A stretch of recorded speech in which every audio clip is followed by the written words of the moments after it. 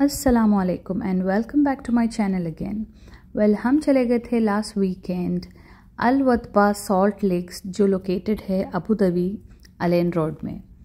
तो ये one of the tourist spot है जहाँ लोग अक्सर जाया करते हैं मोस्ट ऑफ़ देम और um, थोड़ा अवे है सिटी से और ये एकदम ड्यून्स के बीचों बीच लोकेटेड है. माशाल्लाह से एक टूरिस्ट स्पॉट है जहाँ लोग जाते हैं। तो ये देख सकते हैं आप ड्यून्स तो we almost reaching to the place and here we are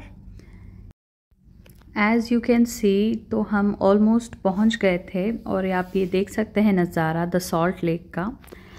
ये एकदम माशाल्लाह से जो पानी जो है ना, सूख के एकदम इसने नमक की शक्ल ले लिया था। You can see it yourself मेरे बैकग्राउंड में आप देख सकते हैं कि सारा पानी जो सूखा हुआ है ना तो सॉल्ट ग्लेशियस में बन गया है।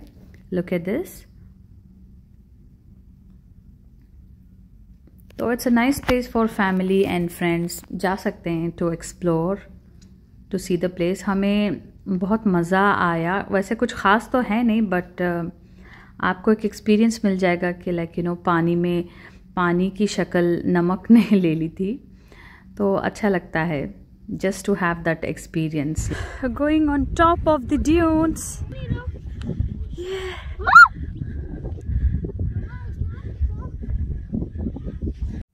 तो हमने ड्यून्स को एक्सप्लोर किया वहाँ से ये देख सकते हैं क्या आप यकीन करेंगे कि ड्यून्स के बीचों बीच एक लेक भी होता है। सीट योर सेल्फ बस हम ऊपर चले गए थे थोड़ी देर बैठ गए थे because we wanted to watch the sunset तो believe me sunset was amazing फिर हम वापस नीचे आ गए और इस खारे पानी का हमने लुत्फ़ उठाया, थोड़ा पैरों, पैर डाले अपने और मज़े ले रहे थे, माशाल्लाह बच्चे और हम। And it was a great experience और हाँ ज़रूरी बात, आप अपना सनस्क्रीन लेना ना भूलें और साथ में अपने स्लिपॉन्स भी ले लें। इट्स बेटर बिकॉज़ काफ़ी धूप होती हो और नमक की कंकरियाँ होती हैं बिकॉज़ पैर नीचे हम नहीं रख सकते, इसीलिए। तो हमने बस एक्सप्लोर किया और हम वापस चले गए थे ऑन अ वे बैक थोड़ा घर गए फ्रेश हो गए। और हम चले गए थे बिकानेर वाला फॉर आर अर्ली डिनर तो बस हमने कुछ हैवी नहीं खाया, थोड़ा सा लाइक चैट्स ले लिया। लाइक पानी पूरी, भेल पूरी और चाइनीज़ प्लेटर लिया हमने। और थोड़ी कुछ साथ में मिठाइयाँ। बस हम अपना डिनर कर लिए और अच्छा लगा specially the raj kachori was amazing and the angoor rabri angoori rabri was one of the most amazing thing we had the other day so here it is हमने इन्जॉय किया अपना डिनर और ये थे स्प्रिंग रोल्स जो मैंने कहा कि चाइनीज़ प्लेटर में आते हैं।